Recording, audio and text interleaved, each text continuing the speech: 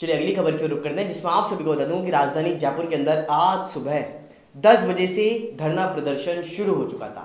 यह धरना प्रदर्शन नगर निगम, मानसरोवर जोन कार्यालय के बाहर देखने को मिल रहा था और इसके पीछे की बड़ी वजह यह थी कि मानसरोवर के जितने भी कॉलोनी वासी हैं वार्ड वासी हैं, उन सभी को कचरे की समस्याओं से जूझना पड़ रहा था। इसी के चलते हुए आज कार्यालय के बाहर प्रदर्शन देखने को मिला है, जहाँ पर पुष्पेंद्र भारद्वाज भी मौजूद रहे हैं, सुनील सिंघानिया भी मौजूद रहे हैं, हेमा सिंघानिया भी मौजूद रही हैं। और साथ ही राजस्थान की वह तमाम जनता जो मानसरोवर जोन के अंदर रहती है, जो इन समस्याओं से जूझ रही है, वह पूरी जनता वहाँ पे मौजूद रही और कार्यालय के बाहर उन्होंने प्रदर्शन किया, जिसके अंतर्गत उनकी मेन मांगे यह थी कि हमारे घर के बाहर से कचरे का निस्तारण जल्द से जल्द करवाया जाए, क्योंकि बीवीजी कंपनी के द्वारा गाड़ियाँ जो कचरे की हैं, वह लगातार नहीं आ रही हैं, और इसी के चलते हुए घरों के बाहर कॉलोनियों में लारियों के अंदर लगातार कचरा भरा रहता है। इसकी समस्या से निजात पाने के लिए ही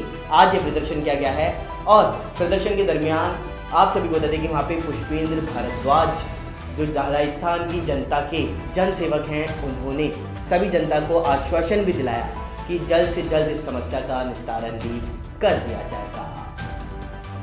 यहाँ पे पानी की भारी दिक्कत है। सीवर लाइन का, घरों का पानी रोडों पे जमा है, गलियों में जमा है।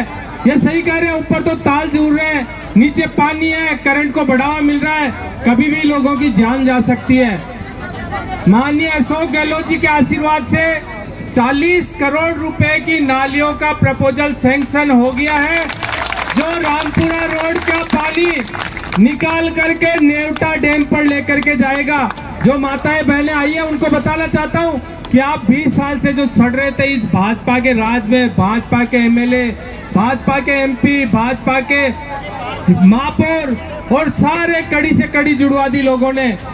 वो सारे काम आपका जनसेवक भाई बेटा पुष्पेंद्र भारद्वाज करवा रहा है आज कांग्रेस के राज के अंदर।